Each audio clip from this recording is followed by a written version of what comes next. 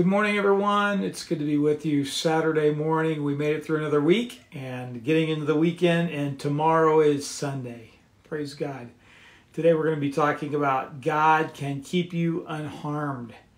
And it comes from Psalm 54 4, where it says, Surely God is my help. The Lord is the one who sustains me. Kayleen's going to open in prayer this morning.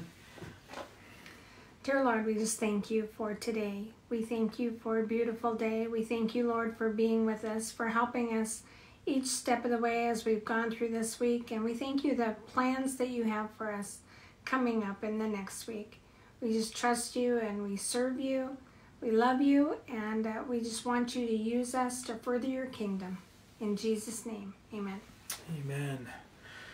Well, today, as we talk about God can keep you unharmed, it says she stands alone after the service ends.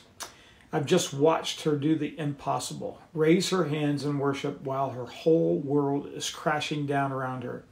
I walk up next to her and gently ask, How are you? She answers with a voice choked by tears and the kind of smile that only comes through suffering. It is well with my soul. I nod because I know she's telling the truth. This isn't cliche offered like a, a band aid to protect her heart. She means it. I put my arm around this brave woman's shoulders, and as I stand there next to her, I think of the hymn that first gave us those words.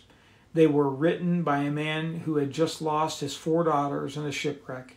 He chose worship in the midst, in the middle of heartache too, heartbreak too. How can we come through life's storms still saying, It is well with my soul? It's a mystery, and yet I've been there too. I know what it's like to stand in the eye of the hurricane and somehow know peace. Apparently, David did too. He said, God rescues me unharmed from the battle. Psalm 55, verse 18. It's not that David is in a time of serenity in his life. He's in the heat of war, the middle of a storm, surrounded by trouble, yet he still says he's unharmed. It is well with his soul. Dr. Henry Cloud says there is a big difference between hurt and harm. We all hurt sometimes in facing hard truths, but it makes us grow. It can be the source of huge growth. That is not harmful. Harm is when you damage someone. We will experience hurt in our lives. There's simply no way around it. And we, we've all seen how hurt can eventually lead to healing, like when we have surgery. God doesn't promise we will avoid hurt. We live in a fallen, broken world, and we are not home yet. But God will keep us from being harmed. In other words, from being irreparably, irreparably damaged by what happens in our lives. That's what I saw in my friend that evening as she worshiped. I knew she'd been through many battles, yet somehow the deepest, most eternal part of her came through unscathed. She still had hope. She still had faith. She still had an open heart. God sustained her. It may be unwell with our bodies. It may be difficult with our families. It may be challenging with our work. Yet, in all those things, we can still say, It is well with my soul. There's a place within you that this world and the enemy cannot or simply can't touch because it's safe in the hand of God. And He has promised never to let go. That's the part of you that will live forever. And while it may be dinged and dented by this life, it can't be permanently damaged. God is faithful. He may allow hurt in our lives, but He will not harm us. So we can say with the Apostle Paul, I know whom I have believed, and am convinced that he is able to guard what I have entrusted to him until that day. 2 Timothy chapter 1, verse 12. God will sustain us until we're home with him.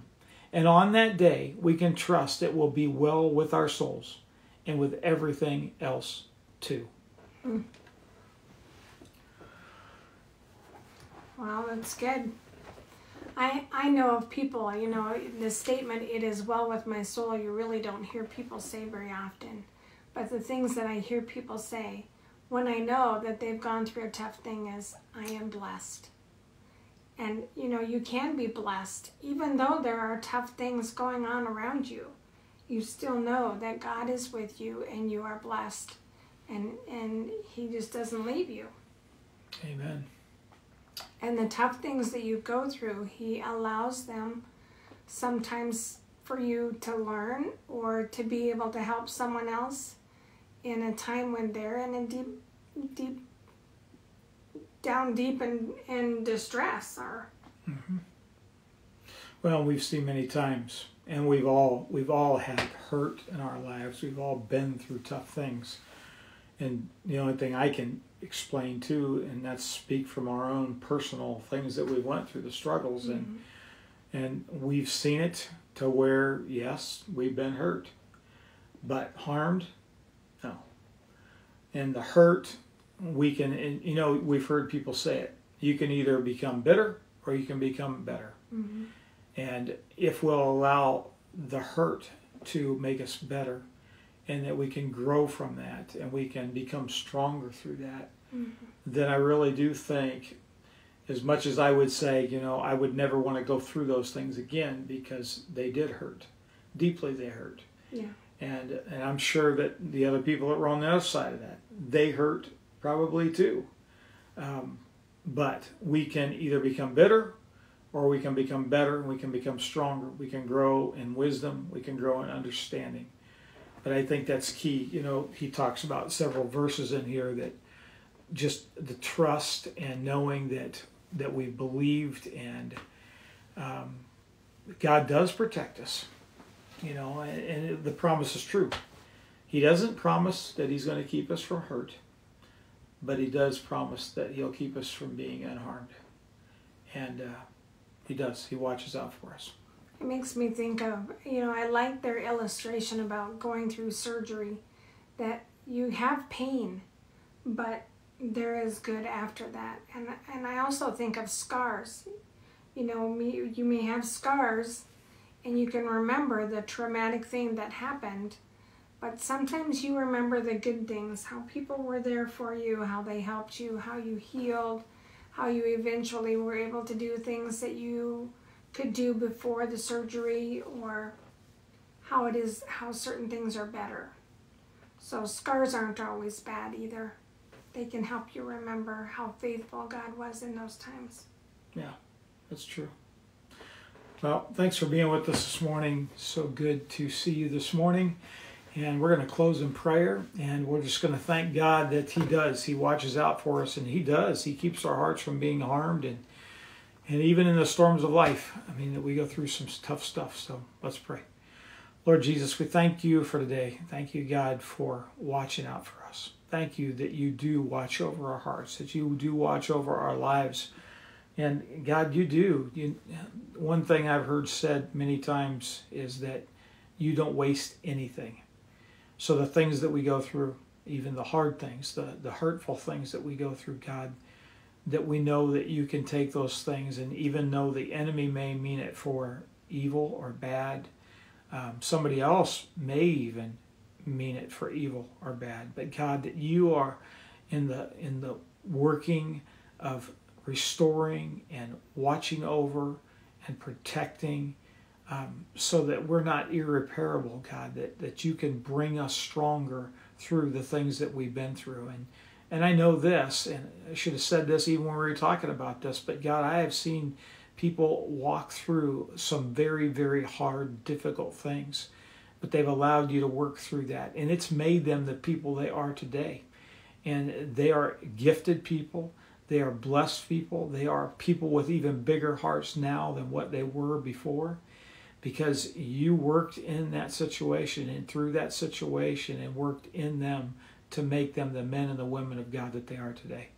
So we pray that, Lord, that you would take our hurts and that you would cause us to be stronger, God. And just bless your people today. Bless those that are listening today. And Lord, that if you're speaking directly to them this morning, which I'm sure that you are some, that God, you just take, if there's hurts there that haven't healed yet, God, that you would work through that, that you'd remove the bitterness, that you would cause it to grow into something beautiful and awesome for your glory, Lord, that will bless many, many, many people, Father. And we ask it in Jesus' name. Amen. Amen. It's so good to see you guys this morning, and we will talk with you soon. God bless you. Wait, don't forget, tomorrow is Sunday. We're celebrating Jesus and worshiping together. God bless you. Bye.